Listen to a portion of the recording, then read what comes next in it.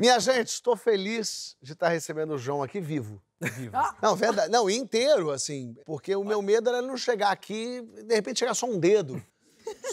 Vocês vão entender por que eu tô falando isso, porque é, vem acontecendo coisas com ele. É uma desde... coletânea. É uma coletânea de pequenos acidentes que poderiam ter matado você. Eu falei assim: bom, se eu, se eu vou estar aqui trocando essa ideia com o Porchat, trocando essa ideia. Eu quero trazer umas histórias de quando eu era mais novo, que eu era um pouco mais responsável, um pouco mais moleque. E é mais legal... irresponsável ou mais responsável? Mais irresponsável. Irresponsável. Mais, mais novo quanto? Agora tá... Então, mais novo pique. 11 tipo, mais novo? 11 aninhos. mais novo, você não era nascido. 11 aninhos. Ah, beleza, beleza. Você já se arrebentava com 11? Nossa, eu já arrebentava com 11. Vamos tá. entender uma ordem cronológica, então. Eu, eu fui nascido, criado em São Paulo com a minha mãe, né? Só que férias da escola e do trabalho, eu ia visitar meu pai lá na fazenda dele, lá em Goiânia e tal. pai dele, no caso, é o cantor Leonardo. Era bem livre, assim. Vida louca Legal, que dá um pouco de responsabilidade também pra criança, né? Enfim, e aí eu comecei desde sempre. Não é o que o juizado de menores acha. eu comecei a voltar meio ferido pra casa, né? Minha mãe falava que eu nunca voltava inteiro. E aí, tipo assim, eu lembro meus irmãos, eu sou caçula, né? Vale, vale deixar claro De quantos mesmo? De seis irmãos, Perfeito. meu brother. Eu era um, um boneco, eu era um fantoche. Aí a gente vai crescendo também, né? Eu um pouquinho, meus irmãos também. E aí entrou uma, uma fase de... Tinha duas coisas motorizadas ali, que a princípio adolescentes podiam andar? Ou ah, quando podia... é fazenda tua particular do teu pai, pode. Pode, né? então, que é o quadriciclo tá e o jet ski na mão da molecada. Então, tem os seis irmãos e tirando os amigos e amigas e primo, que se for começar a contar primo, filho... primo tem, tem muito, acabou. Né? Se eu acho tem que eu tenho é. muito irmão, meu pai tem mais. Então, tipo assim, é uma, é uma loucura de jovinhos lá. E numa dessas, eu, como mais novo, assim, óbvio, eu pilotava ali e tal, mas sempre que tinha alguém junto comigo, eu que ia na garupa. Claro.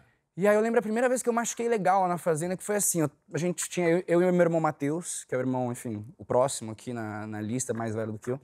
E a gente tava lá, tava abraçadinho ali atrás, a gente numa estradinha voltando, e lá em Jussara que fica a fazenda, muito, muito afastado. Jussara? E, é, Jussara chama. Essa coisa de ver um céu limpo, né, cara?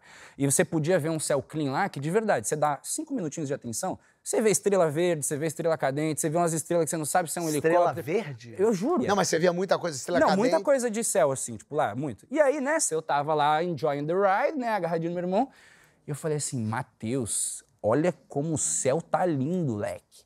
E aí ele, tipo assim, uau, o céu tá muito bonito mesmo. E o Matheus olhando, olhando, pau! Ah, porque o Matheus tava dirigindo olhando tava Ai, nossa, que ideia ótima! O Matheus tava aqui, ó. E o Matheus realmente. E a gente ficou. E eu não me liguei, porque eu tava, tipo, meio que abraçadinho nele, assim. Claro. Tipo, olhando e ele olhando. E eu me liguei com o meu cotovelo. Porque qual foi? Eu tava assim, segurando nele, lascamos na cerca. Que o eixo daquele quadriciclo Nossa. devia estar tá bem bonito, né? Então ele tava indo. Quando eu fui ver, eu juro. A gente bateu ali, deu um, um tranco. E eu larguei, mano, boa parte do meu cotovelo ali naquela cerca, viu? Assim. Aí, tipo, eu menorzinho, eu lembro que do jeito que meu braço tava meio dobrado, ele ficou. Assim. Como é que tipo, você tá eu bati assim, e aí, mano, graças a Deus não quebrou ali, senão, enfim, não ia aguentar de dor e tal. Mas aí foi pra um plano, deu e o Matheus, tipo, o Matheus vê que meu cotovelo tava maior que minha cabeça, roxo, né? E aí já tava. Mano, quando você vê que o bagulho tá tudo errado. E aí o Matheus mais velho, ele ficou com medo de o quê? Chegar lá e assim, ai o Matheus quebrou o braço do Joãozinho no quadriciclo. É que foi muito o que aconteceu. Que, que foi tipo isso. É. E aí, só que eu, como irmão mais novo e sempre cúmplice, porque eu queria a confiança e estar junto com meu irmão mais velho, hum. falei assim: não, Matheus, pode crer, vamos fingir que tá tudo certo, até porque senão realmente eu vou ter que ir para um hospital, eu vou ter que voltar para Goiânia, nada a ver, não quero nada disso. E a gente ficou, tipo assim, uns dois dias e lá você assim. Aqui? Não, uns dois dias eu assim, leque, assim. E tipo assim, eu não conseguia esticar o braço para baixo. Então, tipo, eu, sei lá, eu me via tipo, conversando com, com meu pai, ou com a Poliana, a mulher dele, tipo assim, como um menino tímido, assim. tipo assim. Como, como amamentando uma como criança. Tá? Né? Como, como dormiu, Joãozinho? Ah, tia, dormi bem, não, legal. Só uma pergunta, não quebrou nada, não só quebrou, se destroçou, só que, mas tipo depois assim, voltou destroçou normal muito, ficou muito inchada. Então, quadriciclo, um cotovelo. Quadriciclo, cotovelo. Seguimos aí. essa foi uma boa. Essa foi, na real, aprendizado. O primeiro é assim, não dirige olhando pro lado e nem pras estrelas. A segunda é que às vezes vale a pena também ficar em casa, né? Olha lá. Eu tava... Eu fui durante a pandemia, né? Enfim, tá, bem quando tava fechando tudo, assim, a gente tava vivendo aquele processo maluco de adaptação ali. Maravilha. Eu falei, mãe, a minha família vai para Goiânia e vai ficar lá na fazendinha. E eu acho que assim, Só é uma deixa boa. Deixa acionar o seguro. É. ok, era para eu ficar tipo um mês e meio lá, né? Aí, 15 dias, tá o Zé Felipe lá, Felipe Araújo também, cantor. E aí eles falam assim, Ou nós vamos dar uma caminhada no condomínio, o condomínio lá é grande, bom pra caminhar. Eu não vejo nenhuma coisa boa em caminhar. Não. Vocês estão com 70 anos, caralho. Caminhar, caminhar. Você Vamos gosta de coisa correr. que machuca, Não, vamos que correr, mate. vamos puxar um ferro. Não, não, a gente quer dar uma caminhada. Aí eu falei, não, vamos não, mas eu vou com meu skate. Skate. É, e aí lá, Goiânia cheia de ladeira, tal, tal, mas assim, eu sei andar de skate. Por mais que eu me machuque ainda com skate, o ligamento rompido do meu joelho foi com skate, tal, e eu me machuco com skate direto, eu sei andar de skate. É que acontecem é, acidentes. Você acha que não vale, às vezes, ver um Globoplay? Parar e fazer nada. Ficar só hoje vou ver uma Ah, série. Isso, exatamente. Às vezes é isso, sabia? Exatamente, cara. Foi isso que eu pensei nesse mesmo dia. E aí a gente foi numa ladeira. E aí, essa ladeira pra mim não parecia ser uma ladeira perigosa, parecia uma ladeira inofensiva. Porque ela não era íngreme, ela não era. O, o- o asfalto tava lindo. O que acontecia é que ela era comprida. Hum. Então, lá de longe, você não conseguia ter dimensão da velocidade que você ia pegar quando você chegasse, tipo, aqui. Porque ela era comprida. Então, tipo assim, ilusão minha. E eu falei assim: eu vou na moralzinha. Bonito, Freio hein? na moral. E eu, inclusive, deixei eles irem, né? Um pouquinho na frente, que eu sabia que eu ia pegar essa ladeirinha gostosa, hein? Aí, do nada, eu. Eu assim, ó. Igual uma estrela cadente, meu irmão. O Zé Felipe falou que ele viu eu passando, assim, ó, passo- fez vento a hora que eu passei. Assim. The Flash. Não, juro, ele falou que viu assim, e aí ele falou, ele vai cair. A hora que eu passei, o Zé Felipe, ele disse assim, que ele falou, ele vai cair. E, maluco, não deu outra, assim, meus trucks ali, que é onde segura o skate, né, com as rodas, é meio mole. E eu sabia também que eu ia cair um momento, e aí começou a tremer o skate, né? O skate, ele, ele te avisa que você vai cair, que ele começa a fazer assim, ó. E eu falei, eu vou cair, fudeu. Aí tinha duas opções. Ou eu ia direto naquelas placas de condomínio que é pra segurar a velocidade dos carros e eu vou cair no asfalto. Ou tinha, tipo, um- uma grama e uma lagoa. E eu juro que, tipo, em dois segundos eu falei, grama, lagoa.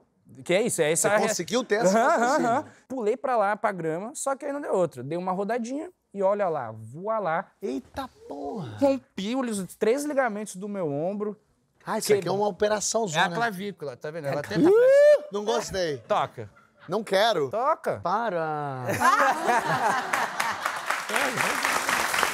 Olha aí. Tá vendo? Ih. Viu essa coisa aqui horrível? Aqui um machucado, ó. Caramba. E aí, Cara, isso quebrou... aqui, e o que aconteceu foi, quebrou a clavícula, rompi os três ligamentos e tal. E o Zé Felipe, inclusive, teve a ideia de botar no lugar. Mas ele conseguiu botar Tá lugar? doido? Não deixei ele tocar aqui. É, o Zé Felipe. que- Tá maluco? Tocar. É, o Zé Felipe doutor. Ele podia fazer um rap pra você, mano. Então, ele podia ter composto alguma coisa, falado uma, uma frase bonita. Aí eu falei assim, não, liga aí pra nossa prima, Leandra e tal. Ligou, fomos pro hospital, aí tive que operar na hora, assim, tipo, acabou minha viagem em Goiânia, que era pra ficar um mês, foi tipo assim, um mês, um mês e meio, eu queria passar real. É, naquela época, eu esperava que a pandemia ia ser uns dois, três meses, né? Que foi bem no começo. Eu queria era passar lá. Eu voltei, tipo, os primeiros 15 dias, operei. todo ferrado. Doeu absurdamente, nada que doeu minha queda. É, e ficou nem... uma cicatrizona. Isso aqui tá errado. Tem que passar a base da errado. Virgínia pra Isso tirar essa- cobre bonitinho, não cobre? Foi. Deve cobrir. Mas esse foi o último acidente que você teve na fazenda. Negativo. Porque eu voltei, último. ó, voltei, e essa é a mais recente e a última. Aí o negócio é o seguinte: cheguei lá com o bracinho machucadinho e tal, e aí a minha família já estava em Jussara. E aí. Eu amei esse nome de cidade, Jussara. É demais. Jussara. Parece muito que foi a pessoa que chegou e falou assim: eu vou fundar essa cidade aqui. Como é que você chama, Jussara? É você, Jussara. Você vai morar aqui. Quem vai saber? Deve ser uma coisa assim. É a mulher do cara que chegou, né? Jussara, vai chamar teu nome. Parece? Mas é, é. Eu acho interessante Jussara lá. E Jussara é muito afastado de Goiânia. assim, é realmente um, um mundinho, assim, uma coisinha bem, bem específica. E aí chegou Jussara. Jussara. Cheguei em Jussara de carro, são assim, seis, cinco horas de carro e mais uma de estrada de terra, de Goiânia para Jussara. E é uma rota ali onde rola muito caminhão de, pô, essas coisas de agro, né? Uns carretonas gigantescas. E o nosso motorista lá foi, foi imprudente, foi rolar uma ultrapassagem diferenciada. Diferenciado porque foi de ré. Não, que foi pela direita, e ultrapassagem normalmente é pela esquerda. É, né? perfeito. Mas porque era isso, era uma estrada de terra, também não tinha muita sinalização. Carretão na frente. Carretão na frente. E aí o que aconteceu? Nesse caminho inteiro, dessa uma horinha de estrada de terra, tem três pontos. E foi na hora que a gente foi, foi pela direita, Leque. Tipo assim, a gente foi pela direita e era a hora da ponte. Então, a hora que a gente reingressou, uma roda lascou na ponte, uma roda não. Então, assim, o carro fez assim, ó, uou! O carro flipou pra baixo. Capotou o carro? Capotou o Não é carro, meus amigos. possível. O carro capotou.